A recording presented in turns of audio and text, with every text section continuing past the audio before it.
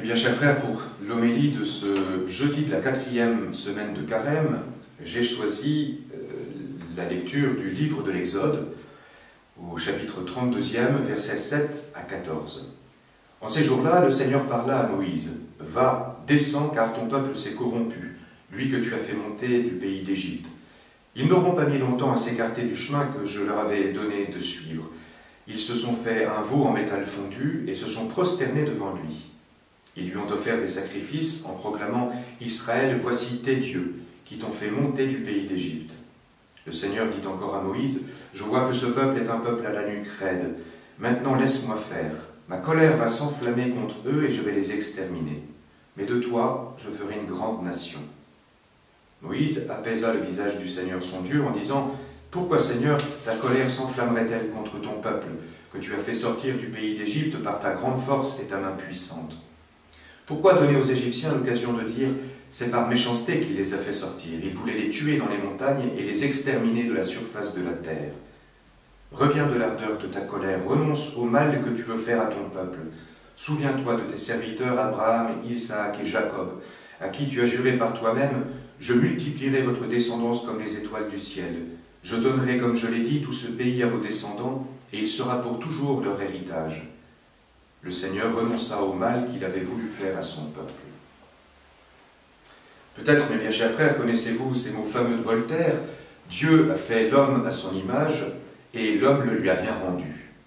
Mis à part l'ironie grinçante qu'il a lui fait dire, cette sentence s'applique bien à ce que déplore Dieu dans la lecture que nous venons de faire. En effet, qu'est-ce que l'idolâtrie sinon cette tendance à laquelle cède souvent l'être humain à se forger une image de Dieu qui soit conforme à ses propres vues. Ainsi du veau d'or, forgé par Aaron, ce jeune taureau, dont la puissance et la fécondité sont censés offrir au peuple hébreu une représentation des principaux attributs du Très-Haut.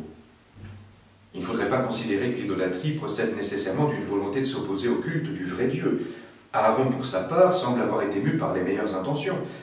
Il s'était persuadé qu'en offrant le veau d'or à la vénération des Hébreux, ceux-ci retrouveraient confiance en Dieu, qui, dans cette statue, se rendait plus accessible que dans la nuée où il s'entretenait avec Moïse depuis quelques jours. Mais là où le bas blessait, c'est que cette sorte de totem, loin de favoriser la relation à Dieu, y faisait obstacle. Elle empêchait de recevoir dans la foi, qui consiste précisément à croire sans voir, la révélation par laquelle Dieu entendait progressivement se manifester aux hommes tel qu'il est, et non pas tel que eux pensent qu'il est. C'est ce qui explique le courroux de Dieu, tel que nous découvrons dans la même lecture de ce jour. Dans son dialogue avec Moïse, que dit-il Maintenant laisse-moi faire, ma colère va s'enflammer contre eux. N'y voyons pas là une crise de jalousie envers le veau d'or, ce serait se faire une piètre idée de Dieu que de croire qu'il craint pour lui-même la concurrence avec un fétiche. Si Dieu s'emporte, c'est parce qu'il sait la nocivité de telles pseudo-représentations de sa majesté. Nocivité non pas pour lui, qui n'a aucun rival à craindre, comme je viens de le dire, mais pour l'esprit humain. Il sait qu'alors sa créature cessera de le rechercher, d'accueillir avec docilité sa révélation. Cependant, et c'est ce qui est très touchant dans cette lecture, Dieu est miséricordieux. Il renonce à rayer de la carte son peuple infidèle.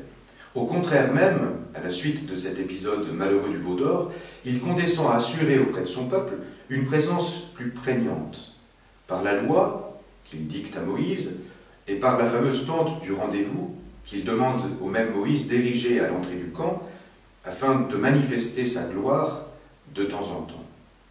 On sait toutefois qu'à de très nombreuses reprises, ces moyens n'empêcheront pas le peuple élu au cours de son histoire de retomber dans l'idolâtrie. Il faudra toute la fougue des euh, prophètes pour faire revenir à chaque fois le peuple d'Israël au seul vrai Dieu, mais c'est que la distance était trop grande entre le pauvre cœur de l'homme et son Dieu, d'où l'idolâtrie récurrente.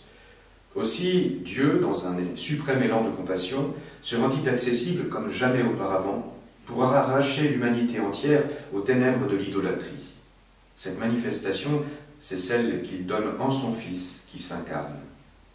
Jésus, que la lettre aux Hébreux qualifie si joliment d'effigie de la substance du Père et de resplendissement de sa gloire, rend visible en son humanité Dieu parmi nous. Il est, selon une formule des pères de l'Église, par laquelle le pape François introduisait sa belle lettre d'ouverture à l'année de la miséricorde, le visage de la miséricorde du Père. Eh bien, chers frères, ne croyons pas trop vite que nous sommes hors de danger parce que nous faisons profession d'adhérer à la Sainte Trinité qui nous a été révélée en plénitude. Nous aussi, nous avons cette tendance à l'idolâtrie, c'est-à-dire à forger de la Trinité notre propre représentation. Selon le tempérament de chacun, les options qui sont les nôtres, nous nous représentons cette Trinité soit redoutable, ou à l'inverse totalement débonnaire, révolutionnaire, ou au contraire garante de l'ordre. Aussi devons-nous revenir sans cesse à Jésus, pour découvrir en lui le vrai Dieu, pour accéder par lui aux trois personnes de la Trinité. Alors il ne s'agit pas seulement de chercher par ce moyen une représentation orthodoxe de Dieu. Ce qui est en jeu, ce n'est pas uniquement d'acquérir une doctrine sûre au sujet de Dieu, en renversant les idoles qui menacent sans cesse nos esprits. En lisant l'ouverture de la première épître de Saint Jean, on perçoit que la contemplation du Christ nous fournit un fruit autrement savoureux.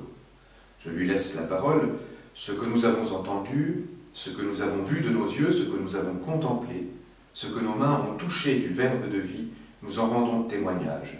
Tout ceci, nous vous l'écrivons pour que votre joie atteigne à sa plénitude. En contemplant le Christ, par la lecture assidue de l'Évangile, par la conversation avec lui dans la prière, c'est à la joie et à la paix profonde de l'âme que nous pouvons accéder.